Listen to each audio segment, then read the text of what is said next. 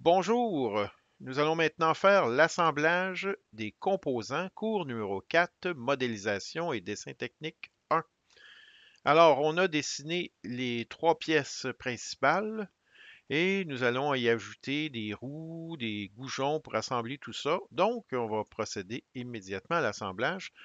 La première chose à faire, c'est de s'assurer qu'on a toutes les pièces. Et puis pour aujourd'hui, on s'assure que toutes les pièces sont dans le même fichier. Alors, regardez ici mon fichier, justement.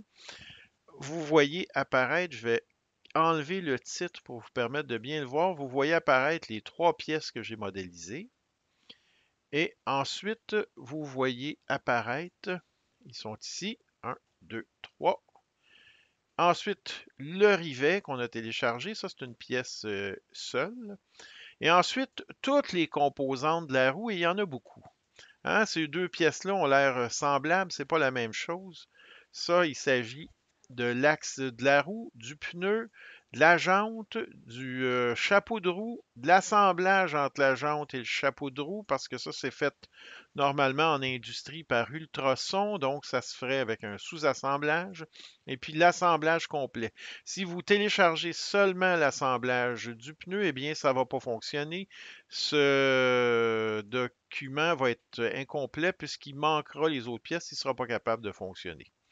Donc, une fois que c'est fait, ben, on retourne à SolidWorks. On n'a pas, euh, on n'a pas euh, de référence pour ça. On va simplement démarrer SolidWorks puis assembler les pièces comme on le pense. Donc, je vais faire nouveau, comme cela.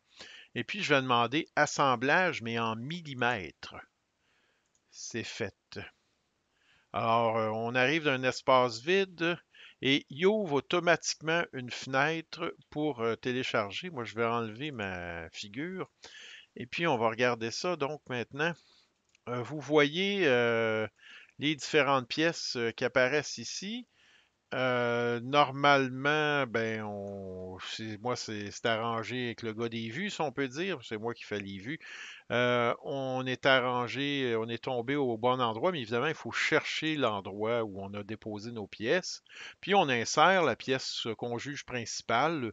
Euh, dans ce cas-là, peut-être euh, justement celui-ci. je vais l'ouvrir. Et quand vous le positionnez dans l'assemblage, vous ne cliquez pas sur la fenêtre. Vous allez dans le crochet. De cette façon-là, la pièce que vous venez d'insérer va être dans les coordonnées, les mêmes coordonnées que l'espace dans lequel elle est placée. Et puis, je pense que la première chose qu'on voudrait placer, c'est les pneus. Donc, notre raccourci au cégep, c'est majuscule I. Et puis, on va aller chercher I. Excusez, c'est majuscule U. Et puis, on va aller chercher notre euh, pneu et on va le placer ici. On en veut euh, quatre copies, donc vous allez dans l'arbre ici, vous pesez sur CTRL et puis vous le placez comme ça et puis vous ramenez ici un autre et puis un dernier. Bon, oh, ça arrive souvent, j'en ai un trop parce qu'il y en avait deux de sélectionnés quand j'ai transféré. Euh, façon-là, tout simplement. Maintenant, on, comment est-ce qu'on assemble? Eh bien, on sélectionne, par exemple, ce cylindre avec ce cylindre, et puis on demande majuscule U. Au cégep, on peut faire les deux, on peut faire U aussi, simplement. Vous voyez que le pneu est mal orienté et pas dans le bon sens. On veut l'inverser. Vous cliquez ici, là, à gauche, et puis ça l'inverse de bord. On va faire cette opération-là en série, donc on va la faire pour les autres. Voilà, je vais la réinverser de côté. Parfait. Je vais faire ça ici. Excellent. Et puis, je vais continuer ici. C'est beau. Maintenant, on voudrait qu'il soit appuyé au fond. Donc, euh, on sélectionne ce plan-là avec celui-là. Et la pièce vient se placer toute seule. Ça veut dire qu'on ne quitte pas la commande euh, assemblage. Si jamais vous l'avez quitté par mégarde en pesant euh, deux fois sur le petit crochet vert, eh bien, euh, c'est pas important. Vous avez juste à refaire majuscule U ou tout simplement U, puis ça va se réassembler. Notez la pièce, est indiqué ici ABS. Euh, pour les jouets, souvent, c'est un signe de qualité. Alors, ça arrive parfois que les compagnies indiquent euh, quel euh, plastique il s'agit. Alors, j'ai préparé mes roues. Maintenant, pour fixer le support qui lui-même va permettre de fixer l'aileron, on a besoin d'espèces de, rivets ou qu'on peut appeler aussi des goujons. Que je vais aller les insérer. Il est ici. Ne mêlez-vous pas, ne prenez pas le jaune. Celui-là, il fait partie de la roue. C'est celui-là, celui qui est en gris, qui est en polypropylène. Donc, j'ai inséré mon rivet. Et puis, je sélectionne encore une fois les deux cylindres de la même façon que je l'ai fait pour l'autre. Et puis ça, ça va vous arriver de temps en temps dans l'assemblage. Ça tombe à un endroit pas pratique. C'est pas grave. Prenez l'objet. Oups, j'ai raté. J'ai encore raté. Ça va pas bien. OK, c'est parce qu'il y a un point. Écoutez, on va quitter la contrainte. Et puis, on, donc, on peut prendre l'objet puis simplement le retirer. Normalement, j'aurais pu le faire dans l'assemblage aussi, mais en ayant par euh, hasard sélectionné un point, eh bien là, il était prêt à donner une contrainte, donc il ne voulait plus bouger. Donc, euh, je resélectionne ces deux faces-là et puis majuscule U pour venir assembler. J'en veux une copie de cet élément-là. Je dois sortir de la commande assemblage. Je n'ai pas le choix. Et puis, je le prends. Mais avant de le prendre, j'appuie sur CTRL, je le prends et je le déplace. Euh, vous ne pouvez pas faire ça pour des éléments déjà assemblés comme les roues. Regardez ce que ça va faire si j'essaie. Ça va simplement déplacer le composant, mais pas tout l'assemblage. Donc, quand vous voulez on peut l'effacer tout simplement.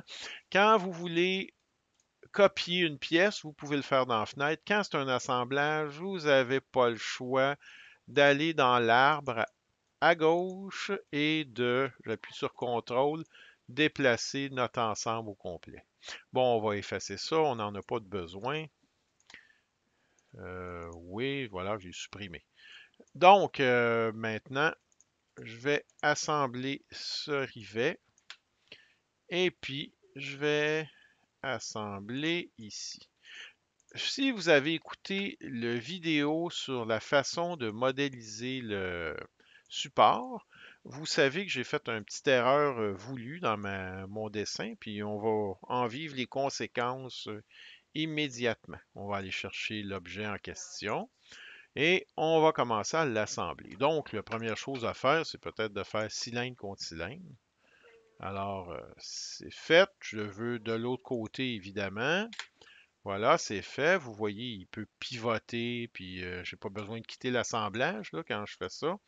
Et puis là, maintenant, ben, pour les aligner, en toute logique, je devrais dire cylindre contre cylindre. Et puis, avez-vous vu, il a commencé, puis il a hésité, puis ça ne fonctionne pas. Je ne peux pas mettre, il ne m'offre pas la coïncidence.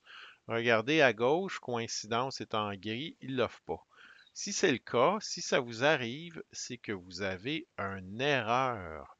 Il faut corriger votre erreur. Il faut la trouver d'abord. Donc, on va appuyer sur X et puis on va essayer de trouver notre erreur. Alors, comment euh, notre erreur vient probablement soit du dessin de cette pièce-là ou celle-là, mais moi je l'ai dit dans le vidéo, l'erreur est ici.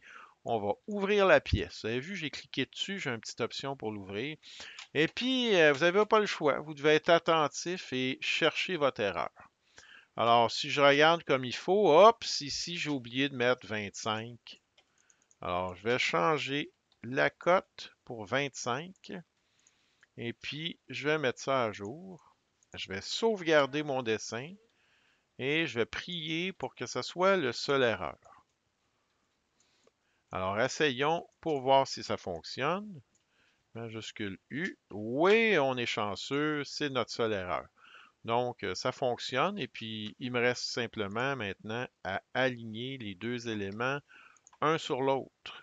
Et voilà, c'est fait. Donc, rappelez-vous-en, là, si euh, la machine refuse de faire l'assemblage, il y a des façons de tricher que je ne vous enseignerai pas aujourd'hui. Et puis sinon, ben, il faut chercher puis trouver son erreur. Alors, euh, moi j'ai besoin de deux autres rivets avant de placer l'aileron. Je vais les prendre tout simplement ici dans l'arbre et puis le copier une fois, puis ben, lui on peut le prendre directement deux fois. Voilà, c'est fait. On va demander que ça soit aligné. Euh, je n'inverserai pas de côté, c'est pas important. C'est une pièce euh, pieds symétriques miroir, elles aussi, par contre, je peux les prendre puis les retirer, comme je vous disais, même si je demeure dans l'assemblage. Et puis, je retourne à l'envers, comme ça, ici. Et puis, je sélectionne cette surface avec cette surface. Et puis, la même chose, on essaie de simuler la réalité. Cette surface avec celle-là. Quoique, je vais juste mentionner ça, pas intelligent, ça, je pourrais décider d'aligner ça et ça. Puis ça donne le même résultat. Voilà, il nous reste à mettre l'aileron, puis on va avoir terminé pour l'assemblage. Vous me rejoindrez au, à la vue éclatée. Euh, je vais quand même euh, aller chercher notre aileron. Voilà, on va le mettre orienté comme il faut. Donc, ça avec ça ici. C'est fait. Et puis ça avec ça. C'est bon. Il reste à régler sa hauteur. Donc, ceci vient s'appuyer non pas là-dessus, mais sur le coin, du, le rebord du rivet. Voilà ici. Ce qui veut dire que quand je regarde de profil, il reste un petit espace. Eh bien, nous avons terminé euh, notre vidéo. Bon assemblage, on se revoit. On se revoit pour le... On se revoit pour la vue éclatée. À tantôt.